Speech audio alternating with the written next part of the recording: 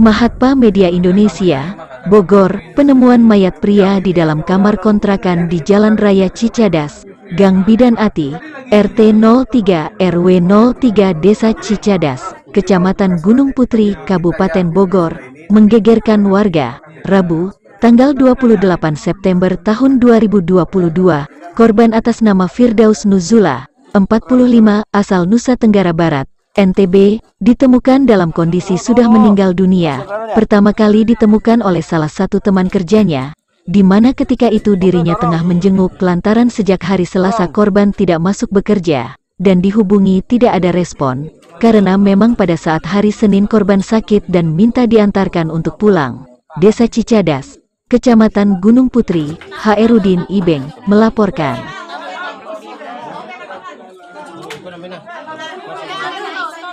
Itu sakit dari hari Senin Senin sore. Kan saya antar tuh. Saya antar. Saya ajak ke klinik nggak mau. Udahlah mungkin dia pengen istirahat di rumah doang udah gitu. Kemarin cuti. Selasa cuti. Selasa cuti. Nah tadi ini kita pulang kerja. Pengen apa, jenguk. Jenguk. Jenguk. Udah sampai sini.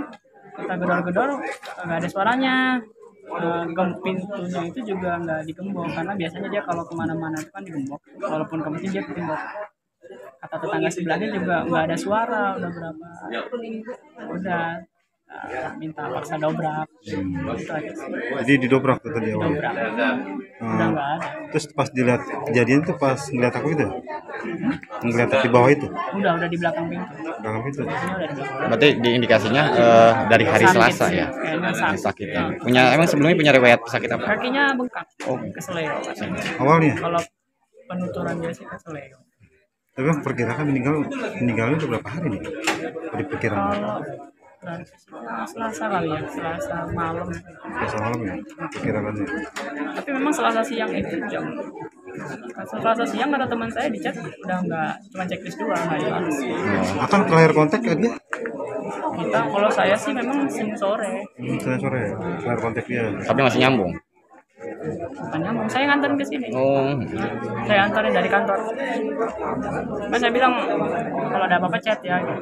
dia nggak ada ngechat memang dia selama ini juga kalau saya anterin sakit nggak pernah ngechat sih Akang terakhir ngechat nomor dia nggak dibalas tuh hari apa? enggak saya nggak pernah ngechat Temen temennya? Temennya itu katanya Selasa siang Selasa siang. ini Terus nggak ada nggak ada ini. dia ngerti kemungkinan meninggalnya ya Selasa pagi Jadi tadi berdasarkan laporan dari pengurus lingkungan bahwa ditemukan eh, salah satu pengontrak di Kampung Cicadas RT 3 RW 3 Desa Cicadas ditemukan eh, pengontrak yang ditemukan sudah meninggal dunia. Seperti itu. Penyebab dia meninggalnya itu? Informasi dari pihak keluarga, korban ini mempunyai riwayat mah akut dan liver. Seperti itu. Kejadiannya pak?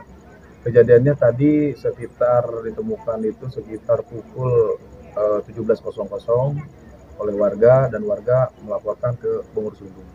Selanjutnya pak? Selanjutnya eh, korban di setelah kompromi dengan keluarga besarnya, akhirnya korban akan disemayamkan di pemakaman umum di Kampung Pabuaran RT 3 RW 8 Desa Cicadas.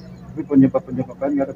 Eh, tadi berdasarkan eh, pemeriksaan dari dokter jaga eh, dokter Mary dari klinik Tri Mutiara di Gangsawo korban eh, tidak ditemukan di dalam tubuh korban ini ada luka ataupun luka dari kekerasan melainkan korban ini mengalami sakit mah akut dan dikurangkan.